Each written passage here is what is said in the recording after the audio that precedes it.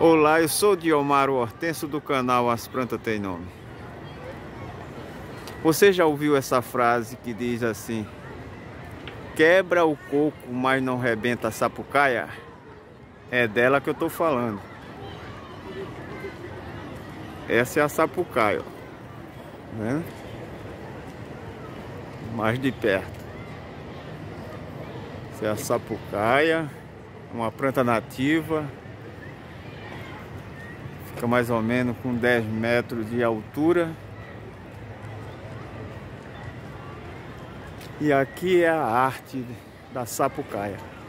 Olha só, cai os cocos, mas fica a sua arte, né? A pessoa pode usar ela, né?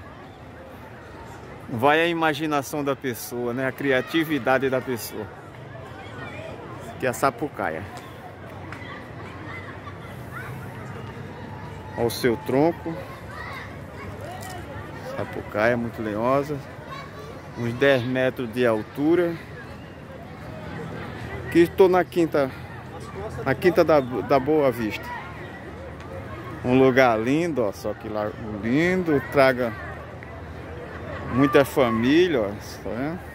Palmeiras, imperiais, lago bonito com animais, que é Rio de Janeiro.